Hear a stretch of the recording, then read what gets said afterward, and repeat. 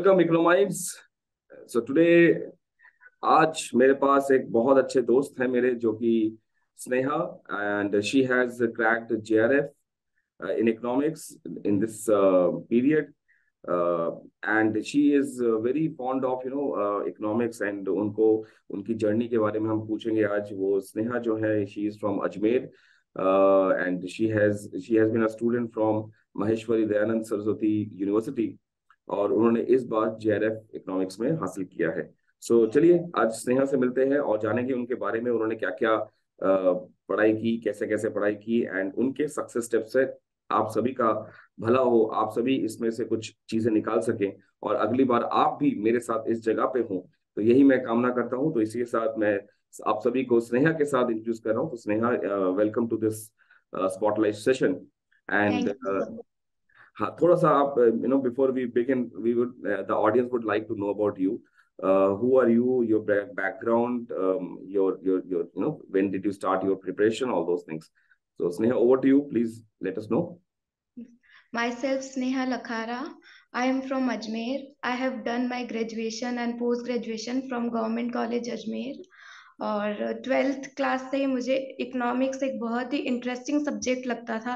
और मुझे शुरू से यही था कि मुझे इकोनॉमिक्स को आगे पढ़ना है।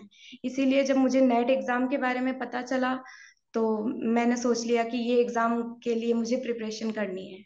कब पता चला इसके बारे में यू वर इन जब मैं पोस्ट ग्रेजुएशन कर रही थी तो मुझे मेरे सीनियर्स और टीचर्स से पता चला कि नेट करके कोई एग्ज़ाम होता है सब्जेक्ट अच्छा। आगे पढ़ने के लिए पीएचडी के लिए हमें ये एग्ज़ाम देना पड़ता है। ओके जब आपको नेट के बारे में पता चला तो आपको क्या पहले से ही मतलब असिस्टेंट प्रोफेसर बनना था या रिसर्चर बनना था? आपके दिमाग में क्या था? मतलब what you want to do Uh, मुझे शुरू से टीचिंग में काफ़ी इंटरेस्ट है तो मुझे लगा कि असिस्टेंट प्रोफेसर एक uh, मेरे लिए बहुत ही सही प्लेस है अगर मैं बन जाऊँ कर सकूँ और उसी uh, दौरान मेरे पोस्ट ग्रेजुएशन में मुझे जब नेट एग्ज़ाम के बारे में पता चला तो हम्म। सुनने में ये आया था कि बहुत टफ है ये एग्ज़ाम अच्छा। इसीलिए अच्छा। मैंने जब पोस्ट ग्रेजुएशन की तब मैंने सोचा इतना टफ एग्ज़ाम है मैं तो शायद ही कर पाऊँगी तो दो साल तो मेरे मुझमें ये हिम्मत ही नहीं आई कि मैं उसके लिए पढ़ाई शुरू करूँ और एग्ज़ाम के लिए कुछ देखूँ लेकिन आफ्टर माई पोस्ट ग्रेजुएशन जब मैं कोविड भी था और मेरे को लगा कि अब आगे अगर यही करना है तो लेट स्टार्ट स्टडिंग तो मैंने उस वक्त यूट्यूब से पढ़ना स्टार्ट किया। Okay as as a student before you start with the JRF मतलब जैसे आपने जेआरएफ की तैयारी शुरू की आज आपने जेआरएफ क्रैक कर लिया। लेकिन आपने जब जेआरएफ की स्टार्टिंग किया तो उस टाइम पे आप अपने आप को कैसे मार्क करते थे? लाइक एवरेज स्टूडेंट और बिलो एवरेज और अब एवरेज आपकी कैसे मतलब एवरेज मुझे। हमेशा तो ये लगता था मैं एवरेज स्टूडेंट हूँ। ओके ग्रेजुएशन में कितनी परसेंटेज थी आपकी अगर मैं पूछूँ तो? सेवेंटी परसेंटेज सेवेंटी परसेंट और मास्टर्स में? Seventy four seventy four percentage अच्छा. और मैथ uh, आपको पसंद था? मैथ के साथ बिकॉज़ इकोनॉमिक्स थोड़ा रोल है। मैंने अपने पोस्ट ग्रेजुएशन और ग्रेजुएशन में कभी मैथ्स पढ़ा नहीं और मुझे कभी पसंद भी नहीं था maths okay so students audience ये एक बहुत इंपॉर्टेंट और ये बिल्कुल आप सभी के जैसे कहानी है। बहुत सारे स्टूडेंट हैं इकोनॉमिक्स में जिनको इकोनॉमिक्स में जेआरएफ तो क्रैक करना है लेकिन मैथमेटिक्स उनको ज़्यादा पसंद नहीं है। और जहाँ पे मैथमेटिक्स आ जाएगा वहाँ पे उनको लगता है कि नो उनको चाँद सितारे तारे सब दिखते हैं। सो so, स्नेहा uh, आपका भी सेम केस है मैं जानता हूँ बहुत सारे स्टूडेंट्स का यही चीज़ होता है that is you know they early find mathematics quite easy तो अभी आपका कैसा लगता है? What is the relationship you have with mathematics now sir in fact जब मैंने स्टार्ट किया था अपनी preparation for J R F I thought कि मैथ्स मैं स्किप कर दूँगी। मैं इतना डरती थी मैथ्स से। अच्छा। मैंने सोचा कि मैं बिना मैथ्स देख लूँगी बाकी चीज़ों में स्कोर कर लूँगी। बट हाँ। जैसे मैंने आपके प्रीवियस ईयर के वीडियोस देखे मैंने ऑब्ज़र्व किया कि काफ़ी पोर्शन है मैथ्स का। आप इसको ऐसे स्किप नहीं कर सकते। But I was so scared from maths then uh, जैसे जैसे मैंने प्रीवियस ईयर क्वेश्चन आपके साथ सॉल्व किए मैंने ये सोचा मैं ज़्यादा नहीं पढ़ूँगी जितना सर बता रहे हैं जो इम्पोर्टेंट कंसेप्ट uh, आपने बताया कि आठ दस टॉपिक इसी से ज़्यादातर क्वेश्चन आते हैं। मैंने सोचा मैं सिर्फ़ वो प्रिपेयर करती हूँ। और मैंने वो लिखे आपके साथ क्वेश्चन सॉल्व किए। कई बार होता था कि चीज़ें समझ नहीं आती थी मैथ्स की। बट हाँ, हाँ, हाँ। मैंने दो या तीन बार हर एक चीज़ को जब देखा तो मेरे कंसेप्ट क्लियर होने शुरू हुए। और सर एग्ज़ाम टाइम में आई रिमेम्बर मैं सबसे ज़्यादा खुश मैथ्स वाले क्वेश्चन को देख के हुई थी कि चलो इसमें आंसर आ रहा तो आई एम श्योर कि इसके दो मार्क्स तो मेरे पक्के हैं। एग्ज़ाम में कहीं ऐसा लग रहा था कि जब आप सॉल्व कर रहे थे तो ऐसा लग रहा था पीछे अमित सर खड़े हैं और सॉल्व करवा रहे हैं। यस सर एग्जैक्ट कुछ क्वेश्चंस तो ऐसे थे मुझे लगा कि ये तो बहुत बार मैंने सर के साथ किए हैं वो एग्जैक्ट आ गए हो ऐसा लग रहा था। अच्छा और आपकी तैयारी आपने कब से शुरुआत की? जैसे आपने मास्टर्स कंप्लीट किया उसके बाद से? उसके बाद मार्च में। मार्च में मार्च 2022 में। यस सर और एग्ज़ाम आपने दिया सितंबर 2022 में। यस सर एंड उसके बाद आपका रिज़ल्ट आया नवंबर में तो यू अराउंड मार्च से लेके सितंबर के बीच में तो अराउंड सिक्स सेवन मंथ्स की तैयारी थी आपकी? यस सर ओके तो स्टार्टिंग किया आपने मार्च से मार्च 22 से एंड उसके बाद सेवन मंथ्स के अंदर उन्होंने पेपर दिया लेकिन ये टाइम बहुत क्रिटिकल था। मैं उस पर बाद में आऊँगा कि why it was so critical but जब आपने स्टार्ट किया जैसे मार्च में आप शुरू कर रहे थे तो आपको फेब्रवरी में कहीं से ये लग रहा था कि चलो ठीक है शुरुआत करते हैं। लेकिन मतलब कहने का मतलब है कि जैसे आपने स्टार्टिंग किया तो आपने किसी से पूछा होगा सीनियर से या अपने जूनियर से या अपने पियर से कि भाई क्या, नेट की तैयारी करनी है, कहाँ से क्या पढ़ें, क्या कुछ करें। तो क्या क्या, पहला क्या मिला था सुनने में? सीनियर्स ने क्या कहा? व्हेन आई स्टार्टेड प्रिपेयरिंग मेरे सीनियर्स या uh, कोई मुझे गाइडेंस था नहीं। मेरे सीनियर्स थे वो सब अलग अलग फ़ील्ड में चले गए थे। नेट के लिए गाइडेंस प्रोवाइड करने वाला कोई था नहीं। अच्छा। तो आई जस्ट यूट्यूब पे वीडियो मैंने सर्च किया और सब में आ रहा था कि प्रीवियस ईयर क्वेश्चंस बहुत इंपॉर्टेंट होते हैं। तो मैंने एक बुक परचेज की और जैसे क्वेश्चन सॉल्व करने बैठी तो मुझे ये समझ ही नहीं आ रहा था कि मैंने ये टॉपिक पढ़ा लेकिन मुझे ये क्वेश्चन क्यों नहीं आ रहा है फिर हम्म। मैंने यूट्यूब खोला उस पर डाला previous year question of micro economics आपका वीडियो ऊपर पॉपअप हुआ। वैसे ही करके जब मैंने मैक्रो का किया तब भी आपका वीडियो आ रहा था। तो मुझे देन आई नोटिस कि कोई अमित सर करके कोई है वो बहुत अच्छा पढ़ाते हैं। मैंने अपने आप किसी ने सजेस्ट नहीं किया मैंने अपने आप फाइंड किया and then I started following फिर मैंने देखा अरे यहाँ तो पूरी प्लेलिस्ट है। 2021 2020 2010 6 तक के अब तो पेपर्स आपने फाइव तक के। 2005 मैंने खुद ही डिस्कवर किया। तो 2005 से लेके 2021 तक के सारे के सारे पेपर्स यूजीसी नेट के, इसमें से मेरे ख्याल से 2019 का एक पार्ट रहता है मेरे से। बाकी मैंने सारा कुछ 2005 6 7 8 जितना भी paper two paper three and exclusively there are on YouTube so जो आप में से जो नए स्टूडेंट्स हैं, जो पहली बार ये वीडियो देख रहे हैं एक्सक्लूसिवली फ्री है आपके लिए। आप कभी भी नाम डालिएगा Amit Chatterjee and previous year question paper आपको यूजीसी नेट के सारे का सारा प्लेलिस्ट मिल जाएगा। तकरीबन पचहत्तर के करीब वीडियोस हैं जिसमें सिर्फ़ और सिर्फ़ प्रीवियस ईयर क्वेश्चन पेपर हर एक क्वेश्चन को मैंने किया हुआ है। ओके okay, तो ये तो बात होगी आपने स्टार्टिंग स्ट्रैटेजी बना ली प्रीवियस ईयर क्वेश्चन पेपर की। लेकिन स्टार्टिंग में ही जैसे आपको पता चल था कि ये मेरे दस यूनिट हैं। Micro macro math stats econometrics money banking international trade वगैरह वगैरह।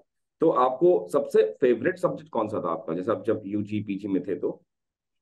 मेरा पब्लिक इकोनॉमिक्स इंटरनेशनल इकोनॉमिक्स और मैक्रो इकोनॉमिक्स माइक्रो नहीं माइक्रो नहीं। माइक्रो में थोड़ा ज़्यादा मैथमेटिक्स आ जाता है।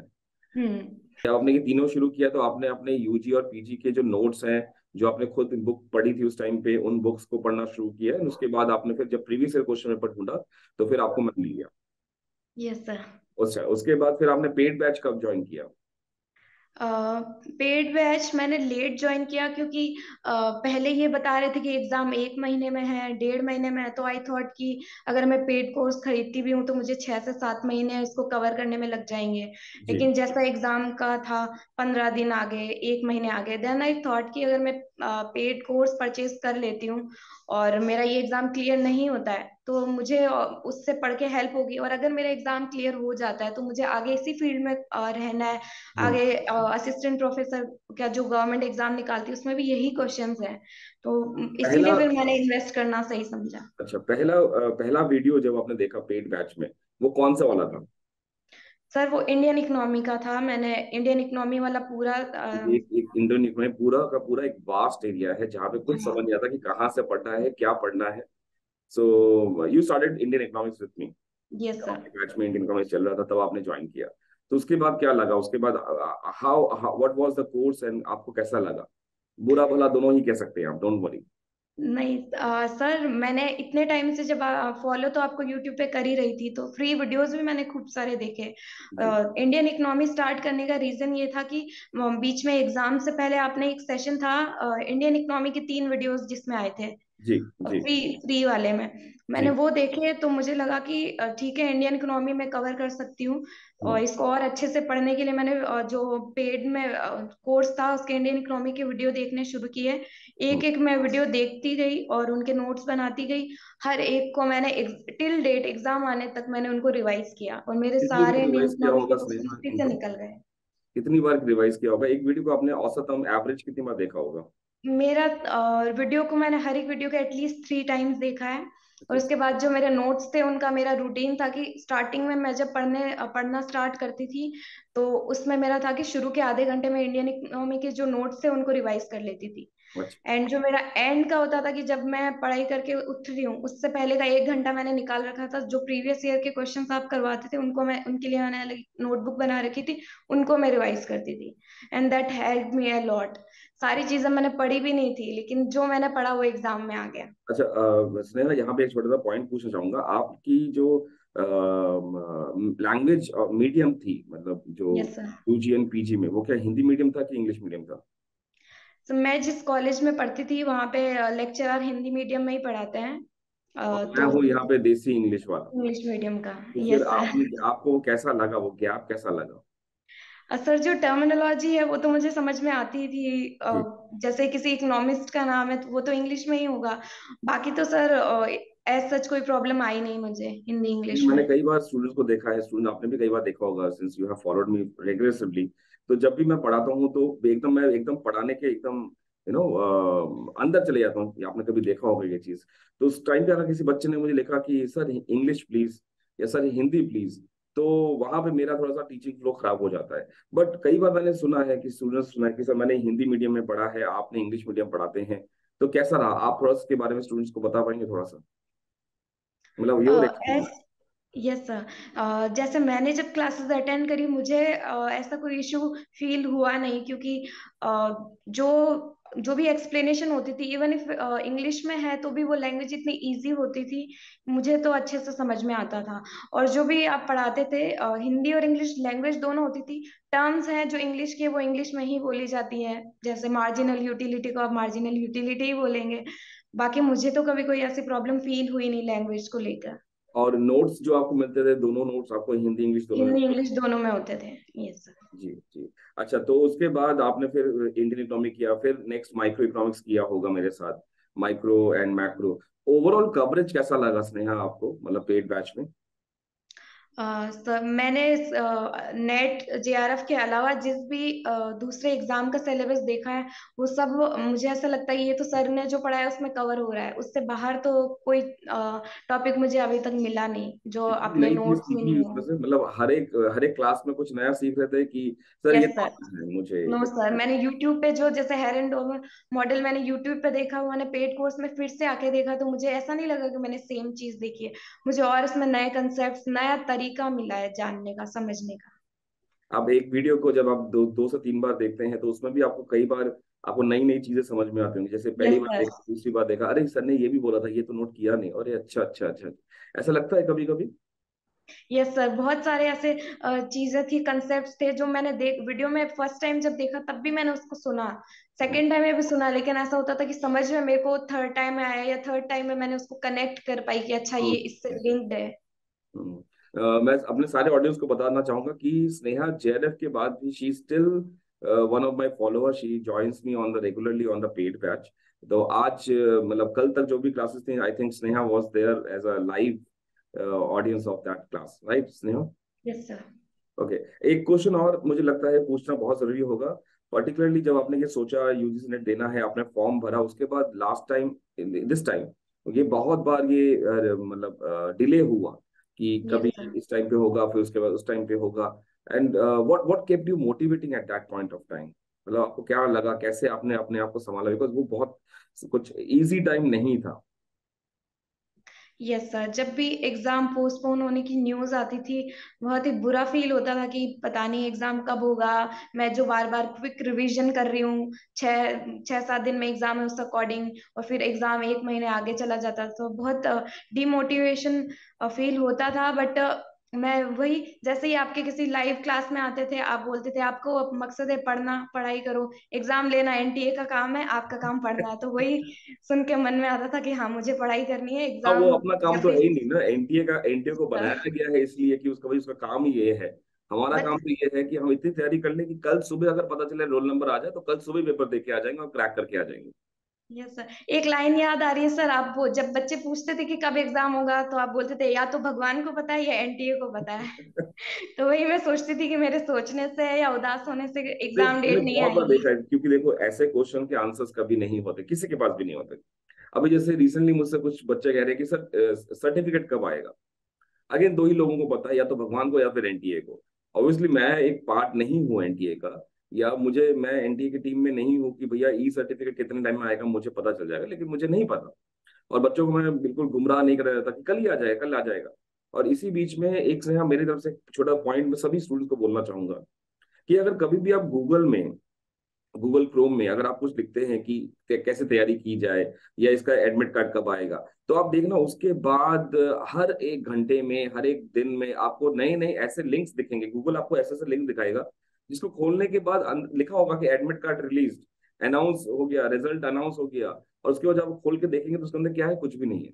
कि बहुत जल्दी अनाउंस किया जा रहा है। तो ऊपर लिखा है पास्ट टेंस और फिर जब आप खोलते हैं तो अंदर लिखा होता है फ्यूचर टेंस तो कैसा ये ये देखा था आपने कभी? कि कई बार ऐसे रिज़ल्ट के टाइम भी और उससे पहले भी बहुत अंदर से ऐसा हो जाता था कि गूगल पे हर सर्च करते थे कि कब आएगा रिज़ल्ट या कब एग्ज़ाम डेट आएगी कब एडमिट कार्ड आएगा और लेकिन वही ये सब चीज़ें तो सबके साथ होती है। ओवरकम इसको करके पढ़ाई पे ध्यान लगाना ज़्यादा ज़रूरी है।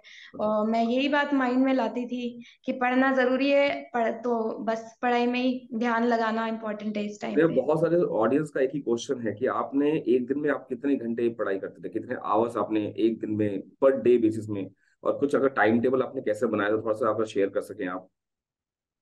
यस सर मैं लाइब्रेरी ज्वाइन कर रखी है मैंने तो मैं मॉर्निंग में दस बजे चली जाती थी लाइब्रेरी और स्टार्टिंग का एक घंटा मेरा रिवीजन का होता था। उसके बाद फोर टू फाइव आवर्स में इकोनॉमिक्स में जो भी नए कंसेप्ट हैं या प्रीवियस ईयर क्वेश्चन सॉल्व करने वो करती थी और लास्ट के दो से तीन घंटे में पेपर वन को देती थी। Okay okay.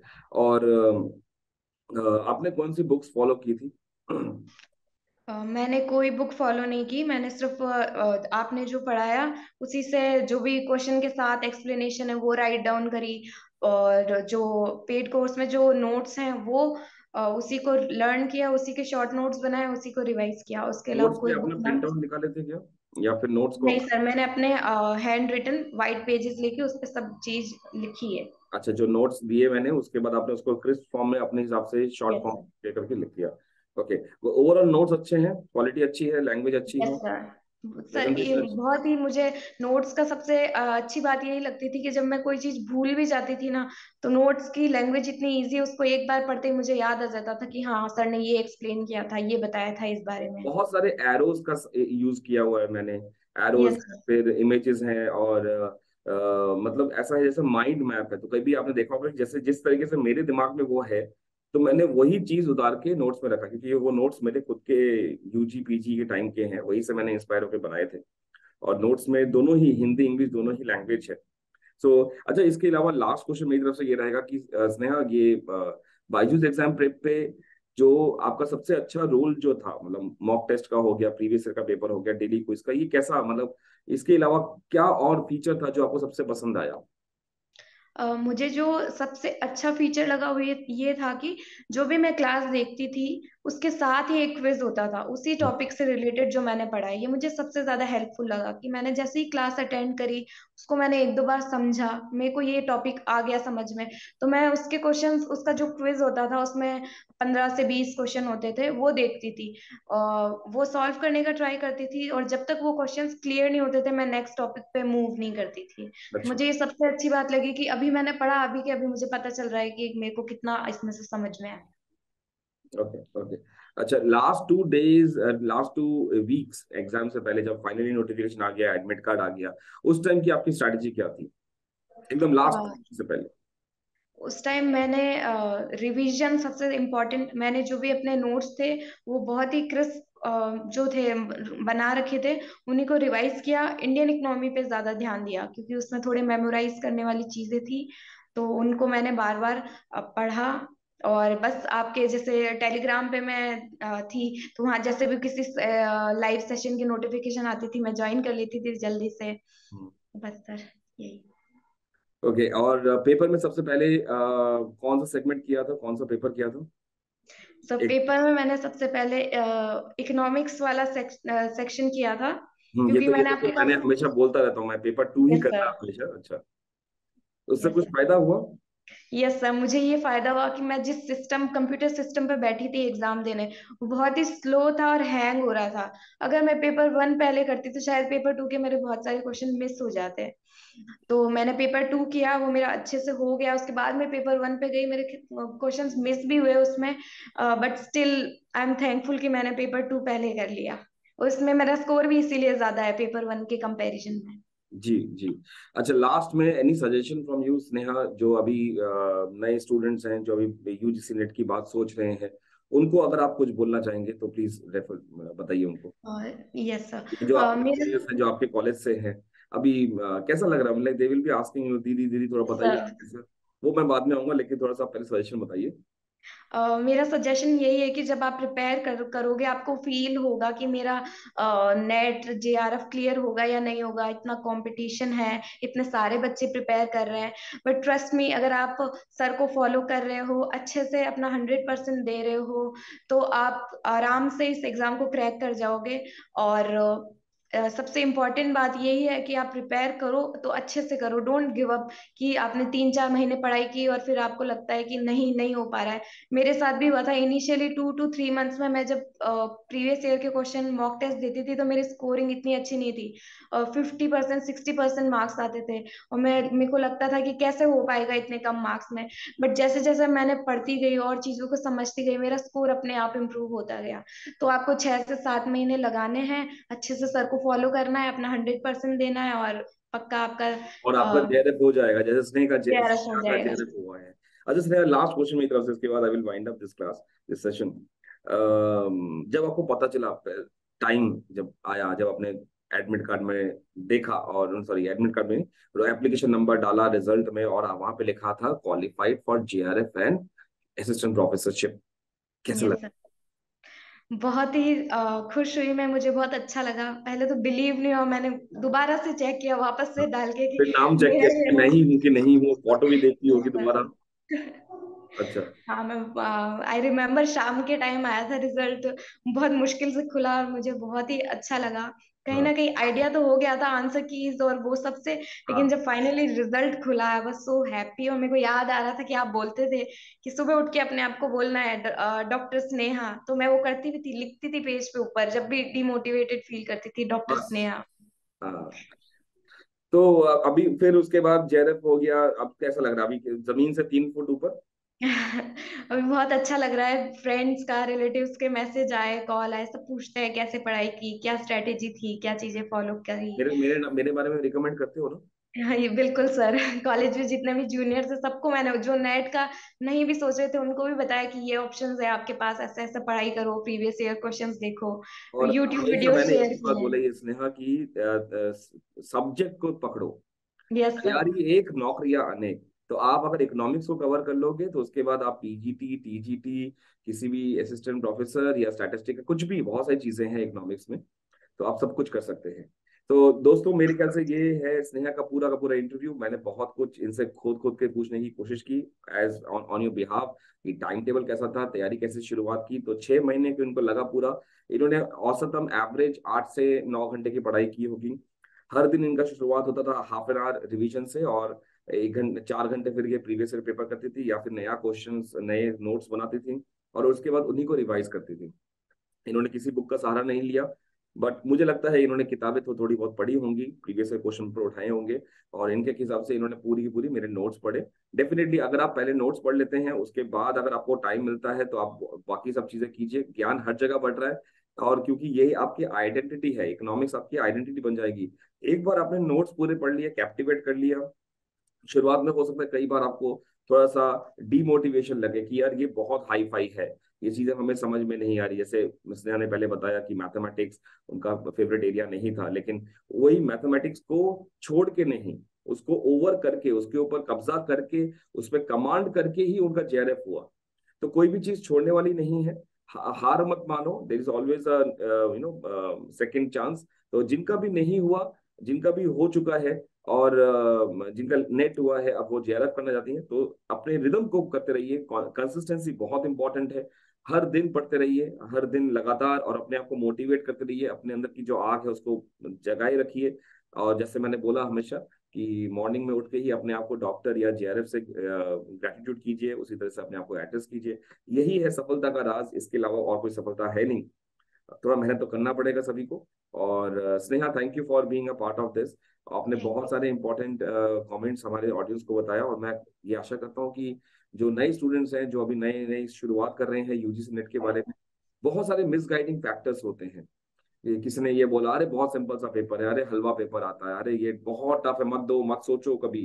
राइट तो वहाँ पे कहीं ना कहीं आप आप एग्जैक्टली exactly आपने अपनी आप बीती बताई आपका अपने लाइफ एक्सपीरियंस से बच्चों को बहुत कुछ सीखने को मिलेगा। Thank you for being a part of this and thank you audience for joining me in this video अगले वीडियो में मैं ज़रूर आऊँगा किसी और जेआरएफ होल्डर को साथ और उनके सफलता के राज हम निकालेंगे ढूंढ ढूंढ के।